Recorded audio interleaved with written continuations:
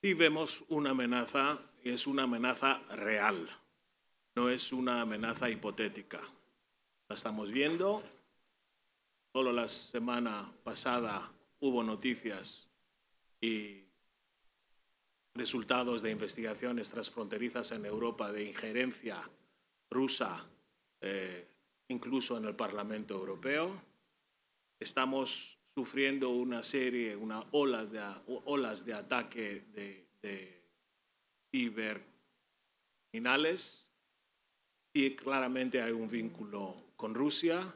Están utilizando la llamada tecnología deepfake para organizar historias, para atacar lo que representa Europa. Entonces esto es algo real.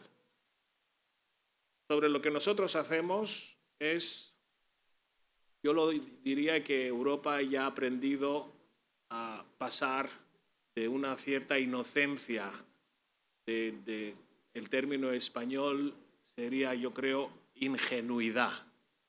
Europa ha dejado de ser ingenua y ahora asume un papel mucho más de confianza, de, de ofensivo, no solo defensivo, cara a estos ataques.